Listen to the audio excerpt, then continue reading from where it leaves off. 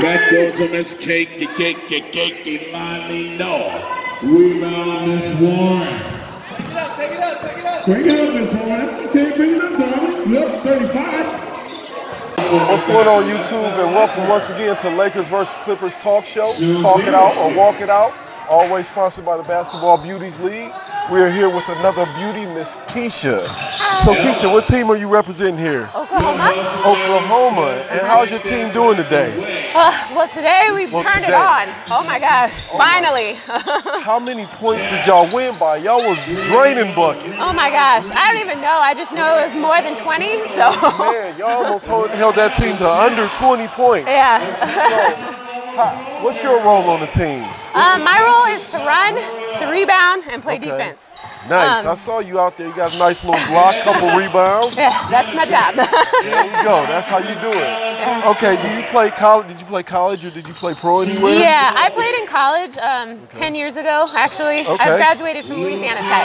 That's what's up. Yeah. All right. And then I actually had a season-ending injury my senior year, so I never played overseas at all. okay. All right. Yeah. Just put that back up. Got it. All right. so since this is Lakers versus Clippers talk show, we want to know: Are you a Laker or a Clipper fan? Deep down, I'm actually a Mavs fan because I'm from Dallas. Okay, that's But if I have to pick between the two, I'd probably pick the Clippers. Just because uh, they have Kawhi and I love Kawhi. All right. All right. That's what's up.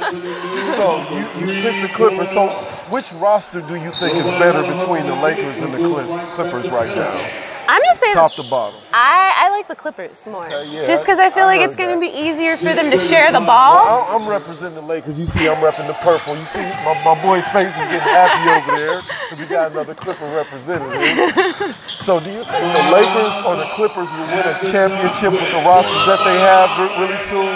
I see you picking them Clippers. Do you think they they're good enough to win a chip really soon? Out of the two, I would say Clippers again. Gosh.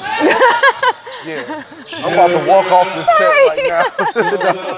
but okay, so once again, you hear she's all Clipper, even though she's a Mavs fan, but she's picking them Clippers. We know it's Lakers all day, every day.